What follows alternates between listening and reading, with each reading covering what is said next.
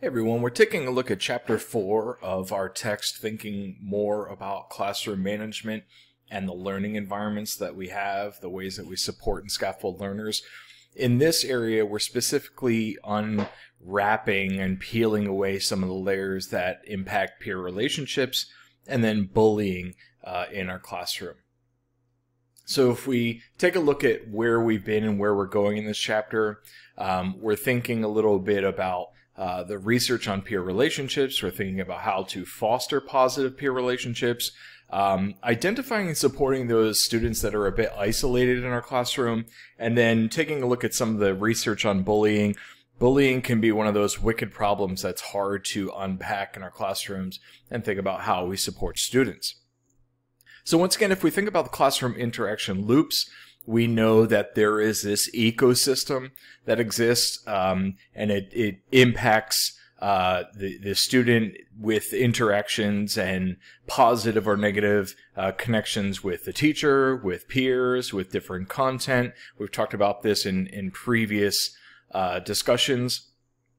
When we think about the value of positive peer relationships, um, we know that it provides several important elements. Many of us can identify times in our life that we've been successful um, in a learning experience or in a club or on a team because of relationships that we had with others. They provide uh, positive social skills. They improve our self-esteem. Um, they may, they show evidence, we see evidence that uh, positive peer relationships can impact or compensate for stressful home life. Um, they also, if we have a positive peer relationship, there might be uh, decreased intimidation and isolation. We see decreased incidences of bullying. And then also we generally support students to get a sense of belonging and try and make those connections with others. When we think about cohesion in the group or how do we create that sense of belonging or that that uh, connection or culture in our classroom we know that groups generally are unique instances. Generally, groups are cooperative existences or entities. Um, and then groups can operate interde- interde- interdependently, interdependently, there we go, from one another. Uh, that means that some groups interact with one another's, but they can also exist on their own. And it's important to set the tone early within the group um, by identifying what's the identity, what's the purpose, what's the feedback structures, you know, what are the, who's in the group, what's the purpose of the group, what's the role of members of the group, and then how do we express ourselves if we don't like the way that things are heading. At the beginning of the year, many of you talked about the need to or the desire to build community and build up that culture. So there's different ways that we can do this. We can uh, have a scavenger hunt. We can bring things in from home or bring things in from our lives that have value to us. Um, have students roam around, uh, interacting with others in the group to see what connections might be there. We might have instances where we have a discussion and we would ask students, which one of these is not true? Uh, in our distance ed course here at the college, um, we have uh, an icebreaker activity where we basically ask participants to share uh, two truths and one lie. And then they talk about what is the truth, you know, what's the lie and what you've shared. And then also just very simply have students get together and talk about what are some of the similarities and differences that we have, um, you know, in our different lives. Um, you know, it's super simple. It's a it's an easy way to start off the year. It's an easy icebreaker. It doesn't have to be just at the beginning of the year. It might be throughout the year. It might be something that we continuously come back to. Um, you know, and it could be a scavenger hunt. It could be the two truths, one lie. It could be okay, uh, in your group, we're going to do some peer evaluation or peer review of our content. Um, what are some things, what are some similarities and differences in you as a group? Um, it might be a good way to get started uh, as people get together and say hi with one another. Some other ideas that we can have, we can talk about um, learning people's names. What is the uh, the origin story of your name? What's the purpose of your name? Um, sometimes people have very specific origin stories uh, in their names. Uh, we can have literacy activities. Sometimes wordplay, rhyme play is a fun way to bring groups together. We like laughing together. Uh, student directory, we often have students in, especially early childhood elementary, they bring in photos from home or bring in photos of the family or important people, maybe pets, so that the student can feel connection in the classroom. And then you can see, you can make that connection. Other students can make connection with other kids and their family. Um, you talk about likes and dislikes and types of candy or food or songs that you like. Um, and then I I really like the marooned activity. I don't really view it as being marooned. I one of the activities that I use a lot. I used it a lot in middle grades in high school, and I use it now in my higher ed courses. Is you know what's the soundtrack or the playlist of your life? So, what are the top 10 songs or the top 10 albums that are very important to you and why? What would you, you know, you, you know, they really emphasize or they epitomize who you are. Other things that we can do as a group to build cohesion, to build connectivity in the group, is thinking about a team name or a mascot or a mission or color or, you know, class pets you know, we often see classrooms that will bring in the the the bunny or the hamster or the fish tank. Um, I had fish tanks in my classroom. Um, you know, there are places that could be sharing circles or areas where we specifically identify things that make us who we are. Um, we have opportunities to um, create those bonds so that we can be a team. One of the, my favorite activities, um, and it's not really an activity, it's more of a habit of mind, is ask three, then ask me. And and the nice thing about that is, far too often in our classroom, our students think they're supposed to always go to you as the classroom teacher for the be all end all answer, and I think that can be problematic at times. The student just relies on going to the teacher at all times. And instead, we can say to them, hey, guess what? Like, go to two or three of your peers, ask them if they know, and then come to me. Um, if you want feedback on an assignment, if you want feedback on your writing or a piece of art you made, um, go ask three of your peers and then come to me after you've done this. Um, I do this somewhat in some of my higher ed courses. I use tools like PeerGrade where you will review and give feedback to each other's work. I think it's a powerful way to shift responsibility and power in the classroom. We also see the, uh, in terms of sharing the wealth and sharing the responsibility in the classroom, we see jobs you know, simple things like who is the line leader or the line monitor for this week. Uh, we see job holders, you know, who is responsible for passing out papers or collecting books, who is responsible for, you know, these different uh, jobs and responsibilities and roles in the classroom. And this can happen at any grade level. We see this in K 12. Um, we see it in higher ed. I my high school classes would have students that were responsible for you know, distributing and collecting supplies. We had, you know, counting points or researching pieces. So there's different ways to share the power in the classroom.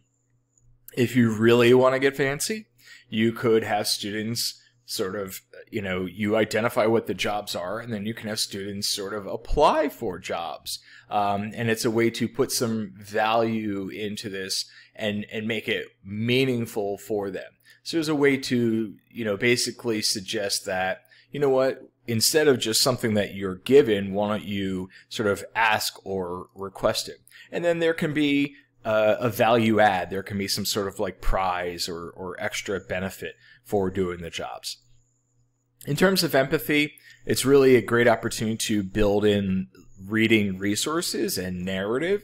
Um, you know, picture books, chapter books, uh, different forms of text really give us a great opportunity to make human connections. They give us a way to talk about empathy, to talk about responsibility, compassion. I think that um, I love picture books. I love chapter books. I think that in K 12 and even with adults, picture books and chapter books are great ways to talk about tough subjects like being open minded and let's focus on the picture book or chapter book and try and make sense of what that means to us and then what it might mean in our classroom. When we have lessons, we also want to think about building community and building culture and building group cohesion. And what that means is providing wait time. That means not always picking on the same individual. Um, it might mean if some students, you know, you might have the same two, three students that always answer, always respond, and they're the first to always answer and always respond. You may want to rephrase the question to build a little bit of wait time or a pause to allow the other students to think. You might give hints uh, along the way. We do this as classroom teachers all the time and slowly scaffold students as they think about where we are trying to head them. We can ask if there's other voices in the classroom. Are there other, uh, I say, melodious voices that I like to hear from?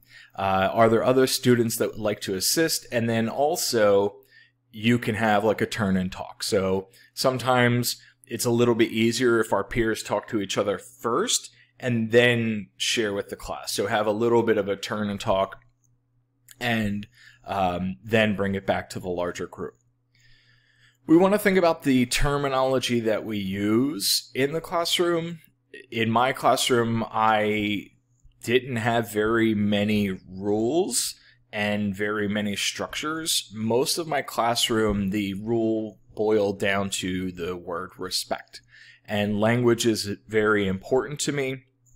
Language is important to me, uh, not just the, the literacy practices, but also the words that we use to describe ourselves and describe others. So in my classroom, there were some non-negotiables. There are certain things that were not acceptable at all. So respect was one of the key rules in my classroom. Um, for the most part, I did not really care that much if my students respected me. I didn't go into the year expecting uh, respect. What I did was I tried to create relationships with every single student and create a value add to those relationships. And I thought respect would come with that. But the non negotiable for me was respecting others. I would not stand for a disrespect or uh, talking down to or bullying or name calling other learners that were trying in my classroom. Um, I predominantly taught in at risk communities, and so most of my students, even in middle school and high school, were reading at a second or third grade reading level. It was not acceptable to me to have a student trying to read and then another student make fun of that person as being slow or a slow reader. That was a non negotiable. That was not going to happen in my classroom. Pretty much everything else was okay, but you were not going to talk down to or bully others.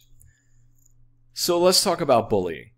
So, bullying is a challenging construct, it's a challenging component of our classrooms.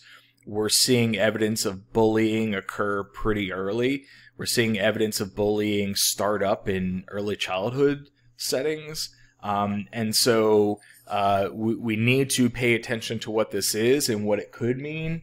Um, I also see early childhood teachers using the term bullying, and so we, we have to ask what com what what does that do to our environment. So we want to think about how do we define a bully? Like bullying behaviors, it's one of those things like we know it when we see it, um, but how do you define a bully? Uh, a uh, question to ask yourself. Um, why do some students bully one another? You know, what are they really expressing? What's the value there in that interaction? Um, we also want to think about is this something that has always happened? Is this something that children have always acted this way, teens have always acted this way, or is this something new? You know, is this just the internet age or just those kids? So when we think about bullying, we're going to identify or define bullying as unwanted aggressive behavior among children and adolescents that involves real or perceived power imbalance. So we're really focused on that power imbalance, those structural components where uh, they, they, there is um, inequity. The behavior is repeated or has the potential to be repeated over time. So we're focusing on repeated, you know, repeated uh, inequities or imbalance in that power and action that is trying to modify um, those imbalances. If we keep talking about bullying or thinking about bullying, we know that there are power differentials based upon age, gender, ability, socioeconomic status, size. Um, the interesting piece is that bullying activities, bullying behaviors happen pretty quickly. So the average bullying incident lasts about 37 seconds. Um, it's pretty amazing that they go by that quickly. And that's by design, but bullying incidents go by pretty quick. They happen pretty quickly. And as a result, you know, and it's by design, teachers only intervene every so often, you know, once in every 25 incidences. And so, you know, it's a 10% intervention on the playground, 20% intervention in the classroom. So there's a lot of bullying that's happening, and it's happening very quickly, and we can't catch it all. So, in terms of types of bullying, we know there's the physical, there's the relational. Now we're seeing incidences of cyberbullying. Uh, physical, pretty easy to tell what that is. We're talking about physical altercations, hitting, kicking, biting, pushing. Uh, relational is a lot of the social, emotional, the public embarrassment, the rumor spreading, um, talking junk about others, uh, and then we see incidences of cyberbullying. Cyberbullying is a uh, dangerous component that we're seeing uh, as our our society moves increasingly online. A lot of our students are bringing devices into the building and hiding them. Um, we are engaged in social media and network communications, and so cyberbullying can occur pretty quickly. Um, I when I first started doing my doctoral research, I, I read a story about students that were using Nintendo DSs as a way to uh, bully each other and send messages messages each other be, to each other because, and this was second graders and third graders. They were on the bus and they could they realized I can send a message to somebody near me on the bus that also has a Nintendo DS. So we're looking at uh, the the challenges of cyberbullying, and so there are instances where we exclude one another, we we out other individuals, we impersonate, um, we we pull, we create you know surveys about individuals, or flame or denigrate other individuals that are supposed to be part of our group and our community. So we think about what happens in bullying. We see different characteristics. We see the the impact on the the bullies and the bullied. Um, if we look at the bullies, we we recognize the fact that many half of all bullies come from abusive homes. Uh, there's a tendency to watch more violent television. We have to ask questions about gaming and other media. Uh, a lot of our bullies show impulsive and oppos- oppositional behaviors. And for the most part, we see that there's little remorse for victimization of others. So they, for the most part, don't care the impact on other individuals. In terms of the bullied, we recognize the fact that we see that they experience depression. Uh, we see evidence of PTSD, anxiety, withdrawal, uh, ideation of suicide. Uh, we see the impact on their self esteem and self worth. Um, and for the most part, we recognize the fact that the bullies and the bullied both it, it, negatively impacts both groups so they're weighing each other down um, and so you might think that it's just the bullied um, that are negatively impacted but we see that both groups really achieve at a lower level if we try to unpack some of the differences between these groups we think we, we see evidence that boys are typically bullied by boys, girls are typically bullied by boys and girls. Uh, boys are 2.5 times more likely to be a bully and victim. Um, for the most part, we're seeing that bullying peaks in elementary, and then throughout middle school and high school, it sort of wanes off. Um, we also know that there is increased likelihood of bullying behaviors in different populations. So, uh, sexual minority youth, uh, individuals or students uh, with non normative weight, uh, students that are acutely or chronically disabled, uh, different racial groups show evidence of increased likelihood for bullying behaviors, and then non native speakers also are a little bit more at risk. So, what do we do about it? So, there's different ways that we can address this, and any bullying or anti bullying, uh, you know, uh, program or initiative at a school is sometimes problematic. So if we look at uh, protective factors, we, we see that school and a sense of belonging and fairness and consistency in rules and culture at school, but also um, supportive, responsive nature of faculty and staff is important.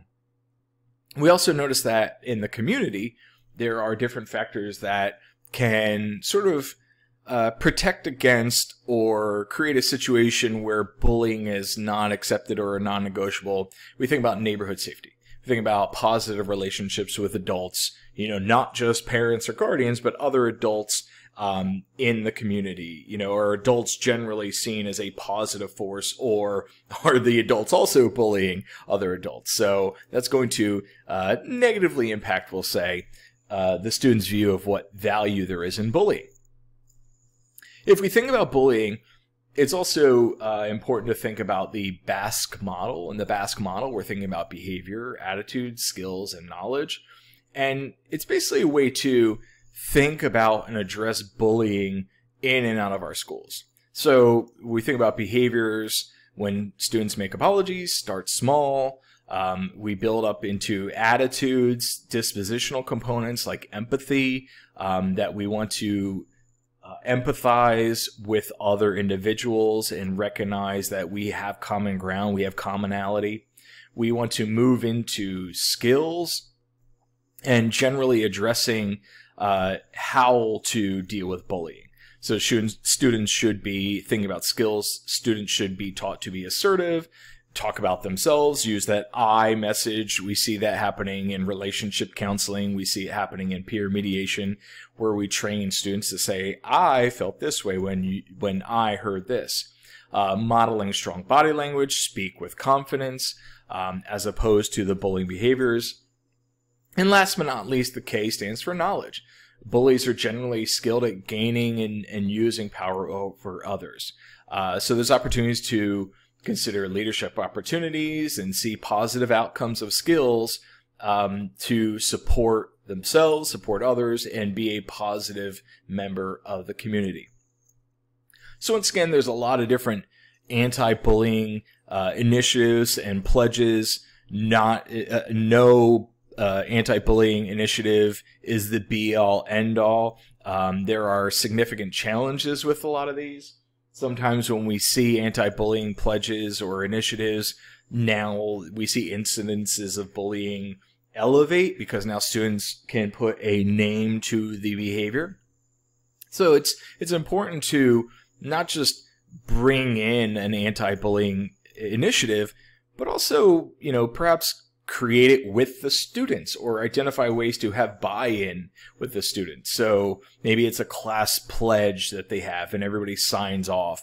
Um, but it's something that really should be a part of that classroom interaction loop. It should be something that builds group cohesion and something that is meaningful from uh, the class or the grade level or the building. And so one one opportunity is a class pledge um, a, a opportunity to think about civil rights of others, think about ability and prejudice uh, and opposing hate. Um, this is something that we increasingly see in our schools, and so this pledge here might be of value to you.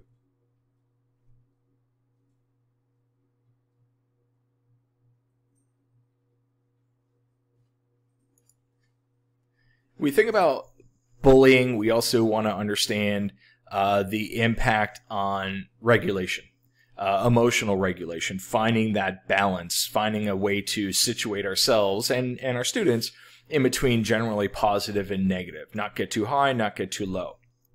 And to achieve emotional regulation, we want to understand the, the mixture between gratitude, giving gratitude, receiving gratitude, appreciating others, generally being thankful for others, but then also that respect component that I talked about before.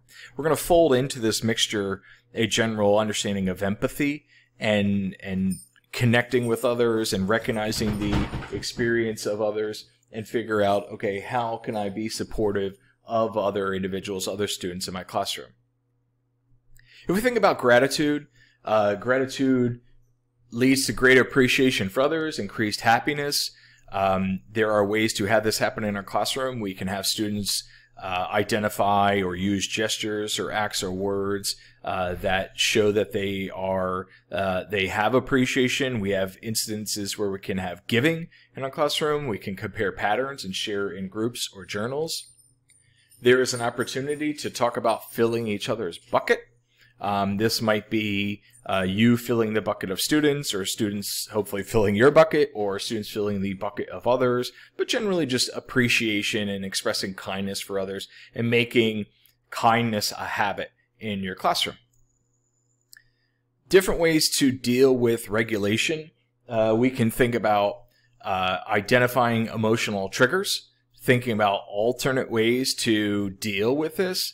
Um, so when students deal with an issue, we could say, all right, well, let's recognize what you're feeling. Let's stop and think. Let's take three deep breaths and try and go outside of your shell and then come back to me or come out of your shell when you're calm and you think of a solution. So providing those mechanisms for students to deal with emotional triggers and thinking about different responses. Just said a different way, it's not lashing out, it's taking the time to figure out, okay, what are different ways or better ways for us to deal with these situations? We also uh, have an opportunity to test out the second step curriculum in our classes. Um, we can focus on empathy and perspective taking, conflict resolution, uh, different ways to avoid fights, avoid the, avoid the physicality. To uh, we show evidence in the second step curriculum about managing anger, um, and it's creating those partnerships between students and uh, faculty, the adults in the building, faculty and staff, I should say. Um, and part of it is make school, make the relationships a little bit more relevant, make school fun. And so that's the second time in, in, in two chapters I've been talking about having fun in our classroom. Um, last but not least, we really want to focus on the isolated students.